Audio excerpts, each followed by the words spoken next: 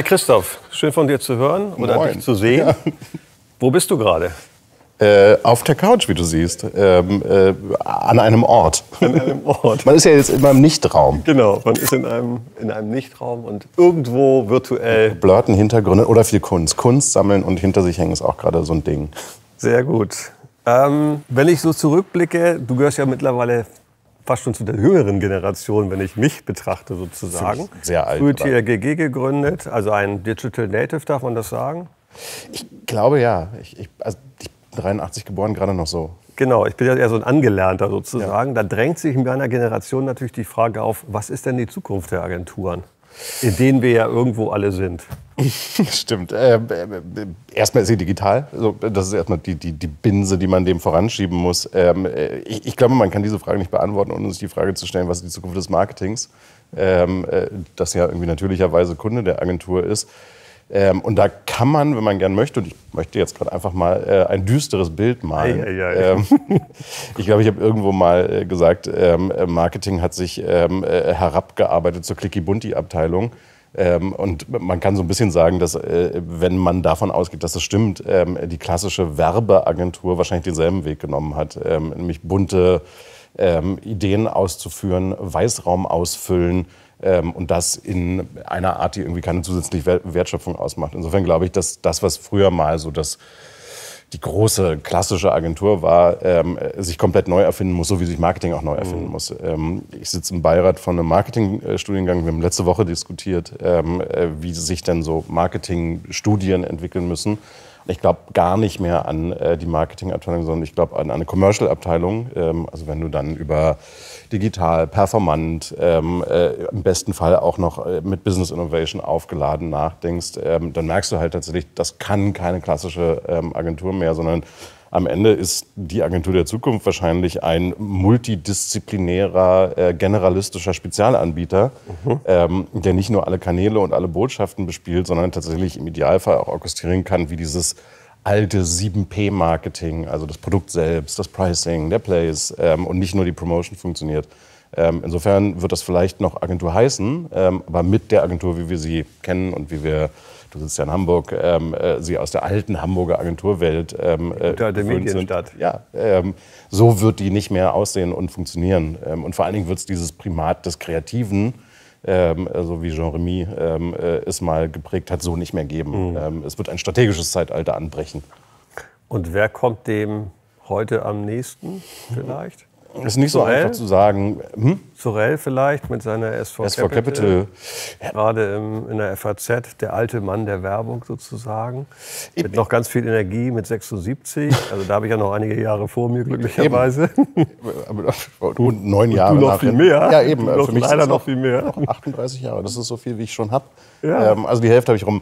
Ähm, SV Capital ist irgendwie ein interessanter Twist. Für mich ist, äh, wenn- wir davon ausgehen, dass der Zielzustand irgendwie 2.0 ist, dann ist SV Capital ein interessantes 1.5.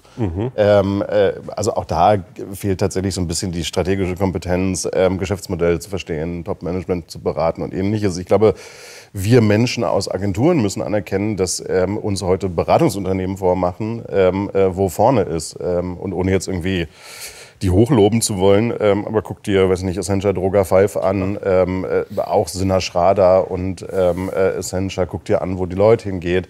Ähm, das ist schon ziemlich weit vorne ähm, und ein aus der Beratung kommendes und deswegen nicht zu kopierendes, aber immerhin ein Ökosystemansatz, der interessant und vorwärtsweisend ist. Wobei sie ja eigentlich tendenziell auch eher versuchen, seit einigen Jahren sich in das Marketing reinzusneaken. Ne? Das ist ja, der, Ja.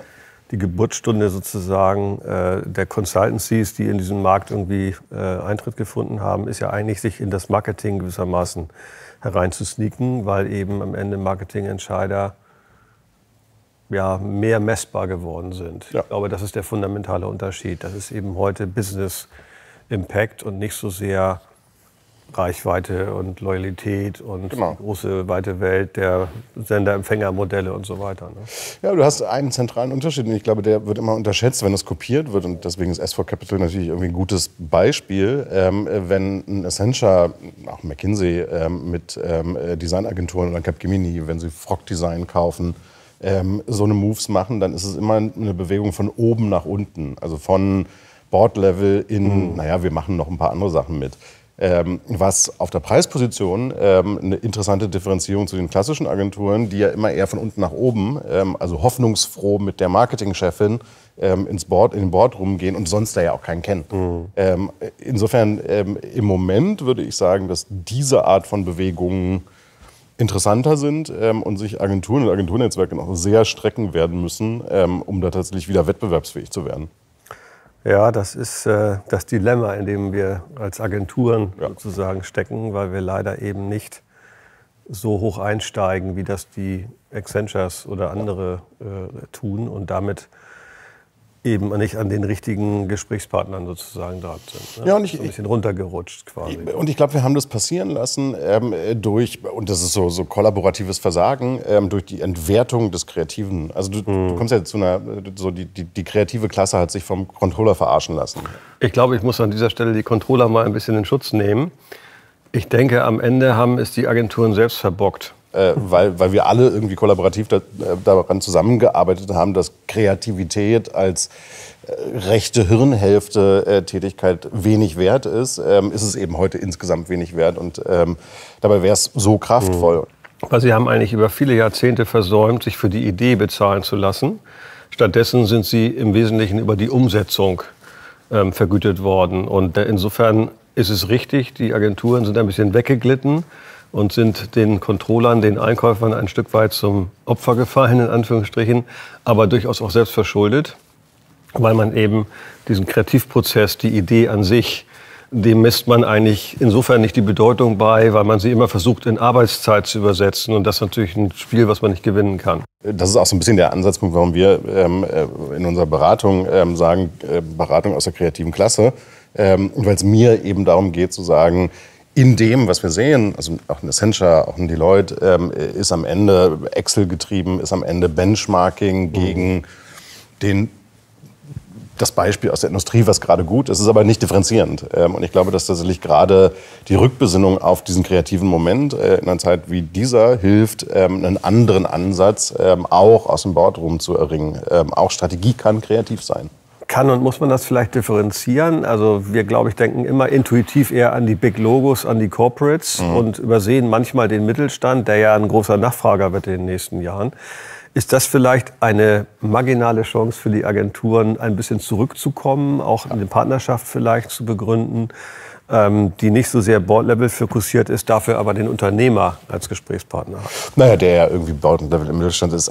Ich, ich, ich, glaube, es gibt zwei Antworten. Ich glaube, die Mittelstandsantwort ist die eine, weil da ist echtes Unternehmertum, da ist zum Teil auch ähm, Genervtheit mit dem Geschäftsmodell der großen, und da kommen wir gleich hin, der großen Beratung und der Wunsch nach echter Partnerschaft. Also die Antwort ist ja, Mittelstand ist ähm, ein relativ interessanter Grund. Die zweite Dimension ist meiner Meinung nach, ähm, und das ist auch das, wie wir es machen, ähm, absolute Lösungsorientiertheit. Ähm, das Interessante an dem Geschäftsmodell von Essentia, von BCG, von wem auch immer, ist ja, dass sie eben keine Lösung verkaufen mhm. ähm, äh, sondern äh, die Bestätigung und ähm, Rotation deines Problems zum Geschäftsmodell. ähm, also, äh, oh, die, das wird Mattes nicht gerne. Aber so ist es. Ähm, äh, es, es. Es geht ja explizit nicht darum, ähm, dir in einer sinnvollen Kürze von Zeit eine Lösung zu verkaufen, sondern die Beschäftigung mit deinem Problem zum Geschäftsmodell zu erheben. Ähm, weil sonst kriegst du diese große Pyramide und vor allen Dingen die unten, die Junior Consultants, nicht gut verkauft. Ähm, und ich glaube tatsächlich, das sind die beiden Sachen. Und Mittelstand ist eben auch lösungsorientierter, deswegen kommt es da gut zusammen. Ähm, Mittelstand ist ja auch häufig genervt von ähm, Beratungen, ähm, weil die eben tatsächlich nicht die Lösungen kriegen. Und ich glaube, totale Lösungsorientierung und unternehmerische Partnerschaft sind dann die zwei Sachen, in denen wir tatsächlich wettbewerbsfähig sind als Agenturianer. Mein und vielleicht ein bisschen Reduzierung der Komplexität. Das beobachten wir relativ häufig, dass doch Mittelständler sagen, ich habe irgendwie keine Zeit und keinen Bock irgendwie auf 20 Gewerke, die sich gegenseitig Fingerpointing betreiben. Lass uns das ein bisschen stärker konsolidieren, vereinfachen sozusagen. Zurückkommen vielleicht auch zu dem, was Marketing oder andere Bereiche mal machen wollten, nämlich nicht unbedingt Agenturen zu koordinieren, mhm. zu sagen. Also insofern, da sehe ich eigentlich tendenziell eher die größere Chance, weil im Corporate-Bereich ist das sicherlich was anderes. Ich meine, die großen Netzwerke machen es vor. Glückwunsch nochmal, Omnicom, Mercedes-Benz gewonnen. Ähm, Florian Adamski zu verdanken, nicht mir, aber ja. Oder ja, äh, ja, S4 Capital am Ende ja. mit, mit BMW. Also die ganz großen Tickets werden dann am Ende doch schon. Interessanterweise hat das dann auch Accenture nicht gewonnen. Ja. Obwohl man eigentlich gedacht hätte, ja, die müssten eigentlich weit vorne sein, weil das ja sehr prozessgetrieben gewesen ist. Aber in dem Fall hat dann doch mal wieder ähm, Erfahrung gesiegt, sozusagen. Und Sir Martin hat alle äh, in den Wind geschlagen. Ja, und, und du, du, hast ja zwei Sachen. Also was ich vorhin meinte mit ähm, dem, dem, sagen wir mal, generalistischen Spezialistentum ist ja genau das. Es ist genau dieses, ähm, äh, ich kann dir eine Lösung zusammenbauen, ja. ähm, die dir am Ende Komplexität reduziert. Deswegen auch große Achtung vor dem, was ihr da macht ähm, äh, und wie ihr es zusammenbaut. Äh, die Frage ist halt immer, wie groß muss die Lösung sein? Und wenn du dir einen Daimler anguckst, so viel kann man sagen, die Lösung ist dann eben sehr, sehr groß, ja. so groß, dass du eben unterhalb einer bestimmten kritischen Größe dafür gar nicht mehr antreten musst, weil du es einfach nicht hinbekommen wirst in der Dimension. Also das ist ja auch am Ende, was den Markt wahrscheinlich in den nächsten Jahren dominieren wird. Am Ende wird sich das konsolidieren. Ja. Weil ich glaube, die einzelne Agentur, die 30, 40, 50 Mann stark ist, die ja gerne in ihren Credentials behauptet, was sie alles kann, ähm, wenn ich das so sehe, äh, da geht der Weg ganz klar in Richtung Verdichtung, Konsolidierung. Ja. Und ähm, dann gucken wir mal, wo da wo da am Ende die Pokale ja, Ich glaube, was wir alle noch nicht genug auf dem Zettel haben und man, man wirklich eng beobachten muss, gerade wenn du aus einer Welt der Lösungen kommst. Und lass uns mal kurz diesen Gedanken folgen, weil ihr, seid ja auch ein Lösungsanbieter. Dann, dann gibt es natürlich auch die Lösungsanbieter, die heute ein Problem haben, die wir früher Outsourcer nannten. Ähm, mhm. äh, also die Cognizants die dieser Welt, ähm, äh, die Capgeminis dieser Welt, ähm, am Ende auch die Essentials dieser Welt mit so 150.000 Leuten in Indien. Auch die sind ja ähnlich wie Agenturen im Übrigen, ein Stück weit undifferenziert geworden und austauschbar. Auch die bewegen sich mit der krassen Macht äh, des Kapitals, das sie akkumulieren dadurch, ja immer stärker in dieses Lösungsgeschäft rein. Und wir werden sehen, dass auch Cognizant war ja schon äh, in Pitches dabei, ähm, auch die in dieser konvergenten Zone der Lösungsanbieter mhm. zukünftig noch viel stärker mitspielen werden. Ähm, also dieses Geschäft wird auf der einen Seite interessanter, ähm, äh, strategischer, aber eben auch noch wettbewerbsumkämpfter werden. Und siehst du es so, wenn ich mir angucke, was, was kann eigentlich, außer vielleicht Regulatorik, die Macht der großen Internetplattformen, nenne ich sie mal, oder Tech-Plattformen. Ne? Das ist ja die eigentliche, also wir haben ja eigentlich zwei, in Anführungsstrichen, Szenarien, die uns gewissermaßen Schwierigkeiten bereiten als Agentur. Das eine ist sicherlich die großen Beratungen. Da zitiere ich die Freunde von Google, they are here to stay. Da wird sich auch meines Erachtens nichts, nichts Dramatisches verändern. Und dann haben wir natürlich die geballte Kraft und auch die Kapitalstärke sozusagen. Ich meine, deren Cash-Bilanz lässt sich ja durchaus sehen. Mhm. Ähm, der großen Tech-Konzerne, die ja auch am Ende in den USA, glaube ich, schon vier Fünftel oder was des Marktes ausmachen. Ne? Also da degradiert sich ja auch eine Branche gewissermaßen zu einem Nischenplayer. Hat Europa, um mal so die, die Ebene vielleicht, in der wir unterwegs sind, können wir da eigentlich aus deiner Sicht noch Schritt halten? So mit Gaia X wird ja dann am Ende auch von Amazon und Microsoft und so äh, gebaut am Ende. Das ist ja irgendwie auch ein, ein Feigenblatt. Aber ich bin sehr, sehr skeptisch, ob ohne Regulatorik man dem eigentlich Einhalt gebieten kann, weil das Geschäftsmodell halt auch klug ist. Ne? Gibt es zwei Aspekte daran. Ähm, einmal den Aspekt, ähm, der heißt, äh, Innovation ist ja immer. Ähm, also die, die nächste Veränderung des Marktes ist ja direkt hinter der Kurve und das sind inzwischen auch alles Konzerne, die, wenn man sich Facebook anguckt, beispielsweise Meta, ähm, äh, tatsächlich auch immer mal wieder einen Schritt auslassen in Innovation oder den nicht sehen. Ähm, also das Wachsen von TikTok an der Seite von Facebook sicherlich ein Beweis dafür, dass auch die nicht immer mehr den Puls fühlen. Facebook mhm. altert genuin. Ähm, man kann sich im Prinzip ja. an der, an der Facebook-Plattform selbst angucken, wie das Facebook-Management altert. ähm, also du musst schon auch immer noch im Zeitgeist bleiben ähm, und Innovation, innovative Bewegungen werden einfach schneller. Ähm, und wenn du dir anguckst, wie erfolgreich und wie riesig ByteDance in China ist ähm, äh, und damit auch die TikTok-Plattform hier in Europa, ähm, dann ist es schon was, was nochmal andere Konflikt- und Konkurrenzsituationen machen wird, als wir sie kennen. Das ist so ein hättest du mich vor zehn Jahren, ich weiß nicht, wie lange es her ist, gefragt, ob MySpace jemals wieder weggeht, ähm, mhm. wäre meine Prognose nicht gewesen. Auf jeden Fall. Ähm, äh, so, und das, das kann schon passieren, weil Aufmerksamkeit von Audiences ist ein fluides Gut ähm, äh, und Zeitgeist und License to Operate ist es eben auch. Ähm, in, insofern, da, da, da, ist noch eine Dynamik drin, ähm, die wir alle nicht unterschätzen sollten. Ähm, und Fortnite und Roblox ähm, würden sich jetzt nicht so bedroht fühlen von Facebook. Die sind irgendwie mehr Metaverse, als es Facebook zum jetzigen Zeitpunkt sein kann. Wird es Europa helfen? Eher nicht so. Ähm, es, es, wird machen, dass wir, dass wir in diesen dynamischen Märkten nie vollständige Monopolisierung sehen, zumal es ja auch irgendwie eine wachsende Literacy, also Lese- und Rechtschreibfähigkeit bei den Konsumenten gibt, irgendwie was das Thema, ich spreade meine Informationen über mehr Plattformen, äh, ich bin nicht mehr bereit, alles äh, preiszugeben und so weiter angeht. Was im Übrigen auch eine europäische Errungenschaft ist. Also das ganze Thema GDPR, DSGVO beschreibt ja auch ein bisschen einen soziologischen Wandel hin zu einer größeren Awareness, was du so preisgibst und was du nicht preisgibst. Ich glaube, Europas Wertschöpfung ähm, äh, und Zukunft liegt in der Flucht in die Komplexität. Also so, äh, deswegen ist es auch so interessant, sich, sich mit regulierten Industrien äh, zu beschäftigen und wer, wer da gerade groß ist. Wenn du dir anguckst, irgendwie ähm, Arztbuchungssoftware. Ist jetzt nicht Facebook, ähm, ist aber ein extrem hochwertiges Geschäftsmodell. Dann ist eben der Marktführer, der da gerade äh, wächst mhm. und hoch bewertet ist, Dr. Lib, ein französisches Unternehmen. Ähm, also tatsächlich glaube ich, dass, dass gerade in dieser, das Internet rückt jetzt in komplexere Welten vor. Produktionssoftware, mhm. ähm, äh, Business Process Mining, Celonis ist gerade was 12 Milliarden wert geworden. Ähm, die ersten Fintechs, sieben, die jetzt irgendwie mehr als eine Milliarde wert sind, auch reguliertes Geschäft. Ähm, also diese komplexen Nischen sind so die europäische Hoffnung. Wird es eine Medienplattform geben, die ähm, Facebook den Rang abläuft und die aus Europa kommt? Mutmaßlich nicht. Ähm, werden wir in der Digitalisierung von Produktion, ähm, äh, von komplexen Industrien, von Krebsforschung, was auch immer, ähm, europäische Champions sehen, auch in Green Tech beispielsweise, mhm. mutmaßlich schon. Und dann reicht es vielleicht für uns. Ähm, man muss ja nicht mit Medienkonzernen Geld verdienen. Nein, das meine ich auch nicht. Äh, ich glaube, man darf sich da auch jetzt nicht äh, bange machen lassen oder erschrecken lassen.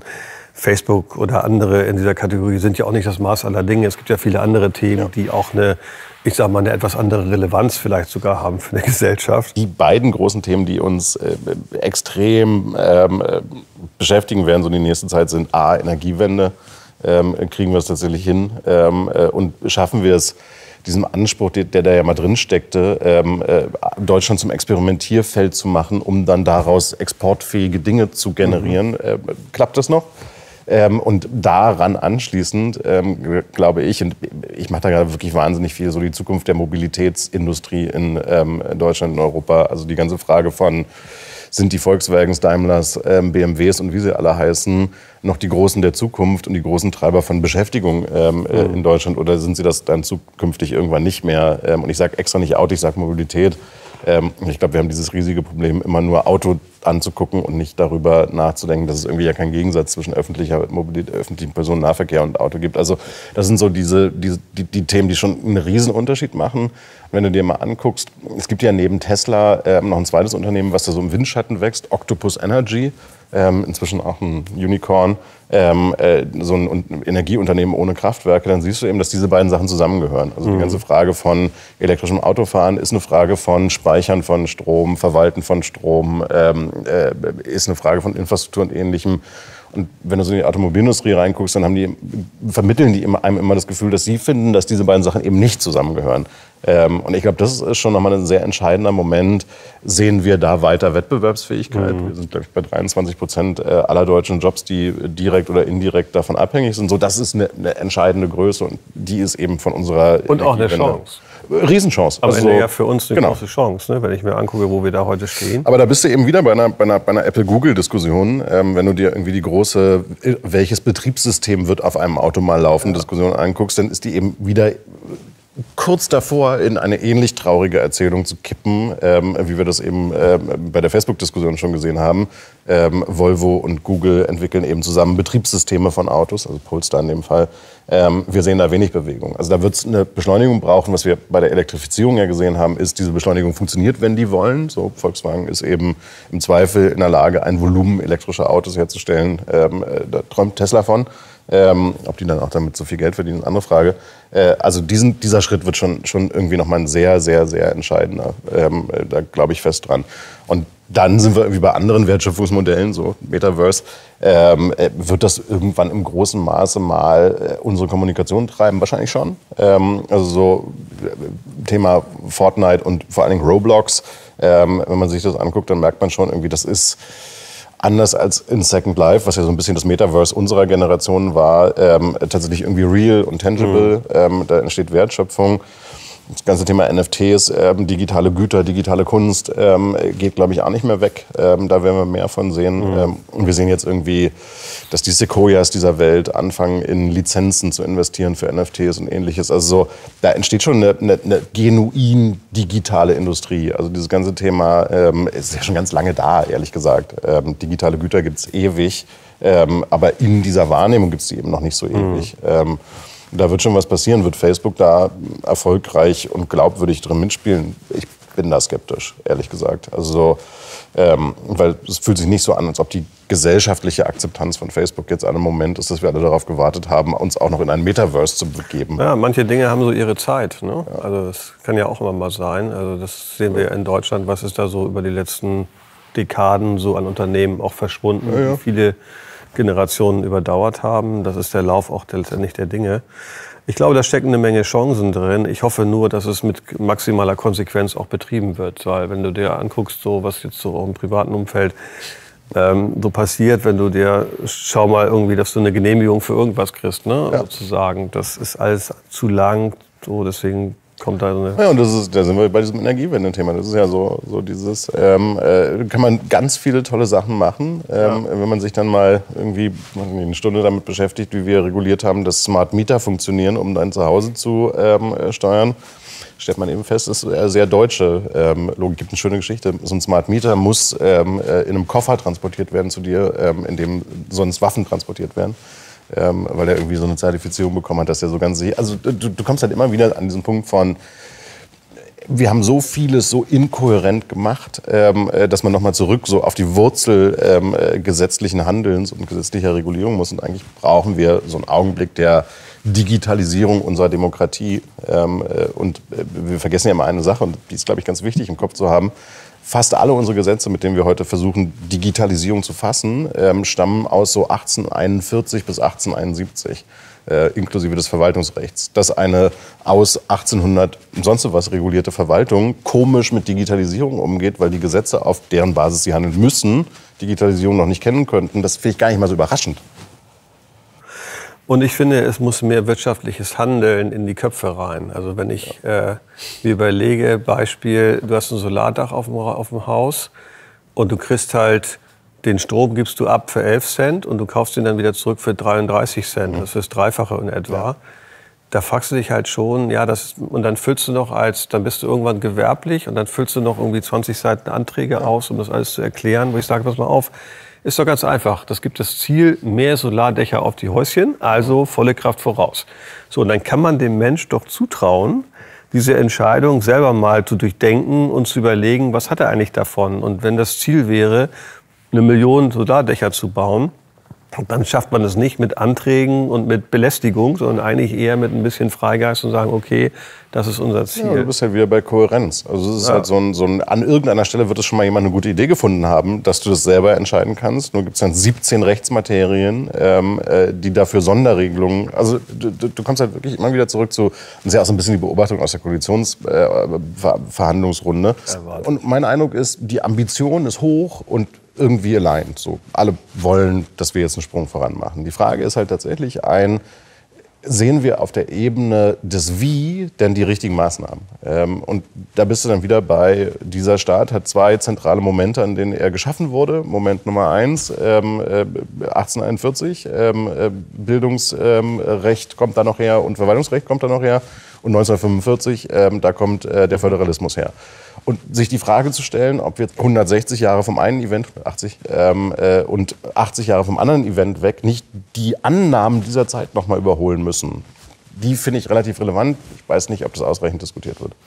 Nee, das wird nicht nur nicht diskutiert, ich glaube, das wird auch nicht wirklich ernsthaft verfolgt, weil die Frage ist ja immer, in wessen Interesse liegt das eigentlich? in Deutschland erlebe ich doch zu häufig das Thema, ja, es geht nicht, weil, sozusagen. Und das ist genau das, was du auch in Unternehmen ja ständig kennst. Ich meine, versuch mal eine Gruppe zusammenzubauen mit sehr vielen Partikularinteressen von einzelnen Spielern. Da höre ich mir den ganzen Tag an, warum etwas nicht geht. Ja. Sozusagen. Und selten kommen Leute mal und sagen, Mensch, es geht aber doch quasi. Und das fehlt, finde ich, ein bisschen. Ich verstehe, dass das eben äh, schwierig ist und dass das auch ähm, nicht so leicht änderbar ist. Noch dazu, wenn man alle vier Jahre sich neu sortieren muss. Mhm. Und das ist ja leider auch nicht alles synchron sozusagen. Ja. Insofern gibt es ja eigentlich nie eine wahlfreie Zeit. Aber am Ende, wenn man was bewegen will, dann muss man eben auch mal voranschreiten sozusagen. Und das fehlt. Ich bin ja überzeugt davon, dass wir beide uns auf eine Sache verlassen müssen. Und die ist ja äh, ein bisschen hoffnungsfroh stimmen. A, äh, das ist das, was wir die ganze Zeit schon sagen, das Ambitionsniveau war nie höher als jetzt gerade. Und es muss auch, also so, die, die Unzufriedenheit, die wir beide haben, die ist irgendwie ubiquitär. Ähm, und B, und das macht mich wirklich relativ gut gelaunt, äh, wir haben den jüngsten Bundestag, den wir seit langem ja, hatten. Ähm, das stimmt. Da sitzen Menschen, die die Zukunft, die sie anrichten, noch erleben werden und dafür auch gerade stehen müssen. Und das ist schon energetisch irgendwie. Also du hast bessere Bundestagsdiskussionen, da gibt es irgendwie bessere Themen, ähm, weil das eben Menschen sind, das ist ja auch mal so der Vorwurf, die das noch sehen werden, ähm, was das Ergebnis ihres Handelns ist und nicht für eine Zukunft, die jetzt nicht mehr ihre Zukunft ist, handeln. Ja, deswegen finde ich zum Beispiel, habe ich lange darüber nachgedacht, wie ich das eigentlich finde. Und mittlerweile denke ich, ja, warum nicht das Wählen ab 16 zum Beispiel erlauben, das. Ja. um das Gewicht so ein bisschen ja. der Stimmen mal zu verändern, weil wir natürlich schon, noch bin ich nicht so weit, aber auch ich gehöre ja irgendwann hoffentlich ja. zu denjenigen, die dann über der 60 dann äh, sind und dann vielleicht von Rente leben. Ähm, und das kann ja nicht gut sein, dass das irgendwie die Partikularinteressen einer bestimmten Gruppe nur ja. bedient. Also ich bin da sehr für Wählen. Da bin ich auch mittlerweile bin ich da sehr dafür und war ganz überrascht, dass man ja zumindest jetzt anlässlich der letzten Bundestagswahl auch gesehen hat, was dann am Ende Erstwähler auch gewählt haben. Das war für mich schon überraschend. Ja. Äh, hätte ich sogar, sogar anders gesehen, aber da scheint es ja einen Reflex zu geben, dass Dinge auch irgendwie äh, vorankommen müssen. Und deswegen hat man ja mit Grünen und FDP da auch ein Statement mal gesendet, sozusagen. Ne? Das ist fand ich schon ganz bemerkenswert. Gut und schlecht zugleich, aber die nächste Generation wird es richten müssen. Wir sind ja alle da. Also so, wir können es ja auch machen.